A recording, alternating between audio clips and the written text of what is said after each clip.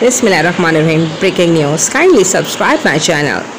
जी ईद अजहा के मुतालिक अहम पेशन गोइयाँ आपके सामने की जा रही हैं अहम पेशन गोइयों के बारे में आपको बताया जा रहा है कि कल बरोज़ हफ़्ते को इजलास तश्कील पा जाएगा, कमेटी तश्कील पाई जाएगी जिसका मकसद यही होगा कि मुख्तलिफ़ ज़िलों से ज़िले जो कमेटियाँ तश्कील पाएँगी, उनके ज़रिए शहादतों को जमा करना है और शहादतों को जमा करने के बाद इस बात का फ़ैसला करना है कि चाँद नज़र आया या नहीं आया जो भी फ़ैसले होंगे, वो चाँद मुख्तलिफ़ ज़िलों से शहादत जमा करने के बाद ही किए जाएँगे, जबकि दूसरी जाने माहिर फल्कियात का ये कहना है कि कल शहादत बहुत कम है, चाँद नज़र आने की। बहुत ज़्यादा इम्कान हैं कि 11 और 12 जुलाई को ईद अज़हा का चाँद नज़र आने की।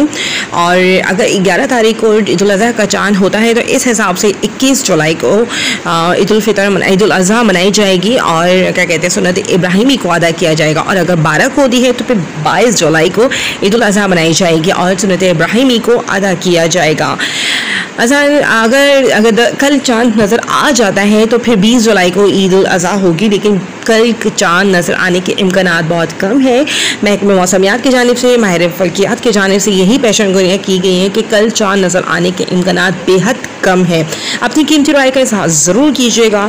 मुझे भी इजाज़त दीजिए। नेक्स्ट वीडियो में मिलेंगे इन अल्लाह हाफ़ I'm happy to see you here. Thank you for watching my work. Kindly subscribe my channel, support my channel, support my video by your subscription. Thank you. All Allah Hafiz.